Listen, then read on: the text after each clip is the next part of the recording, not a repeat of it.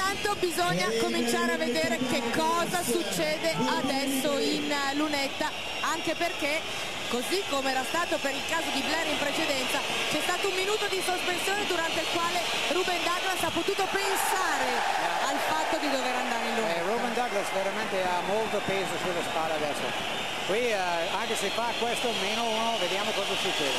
È comunque sparigliato il risultato un punto di vantaggio per Milano che però non può chiudere con la palla in mano. 30 secondi alla fine 22 adesso per l'attacco milanese che nelle mani di Sasha Giorgevic contro Gianluca Basile vuole comunque lavorare con il cronometro. La formazione di Lino Lardo ah, mancano adesso 11 secondi. È pronto Meccallo alla ricezione pronto Blair al pick and roll ultimi 5 secondi ancora Giorgevic apertura per Calabria il tiro da 3 di Calabria non va il rimbalzo per Basile ultimi 3 secondi Basile deve prendere il tiro ci prova Douglas allo scadere ed è una tripla ed è una tripla segnala Luigi La Monica che il tiro non vale io presumo oh. che possa esserci l'intervento dell'instant replay e così è.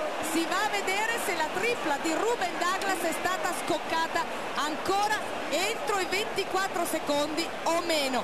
Finale con il Trilling, un finale che potrebbe attribuire lo scudetto alla Clima Mio se il tiro fosse partito nei tempi giusti, se così non fosse si va a gara 5. La tensione sul volto di tutti i giocatori che aspettano l'esito dell'instant replay, momento di tensione mostruosa, vediamo l'indicazione da parte dell'arbitro che giustamente allontana tutti coloro che non fanno parte della terna e che non dovrebbero essere lì ad osservare un momento talmente Paola, importante. Tutta nella mia vita io non ho mai visto una finale così, mai. Veramente un finale pazzesco. Guardate i giocatori, guardate i volti dei giocatori, è impressionante vedere, c'è chi prega, c'è chi ha le mani in faccia. E arriva la conferma, il tiro è buono, il tiro è buono.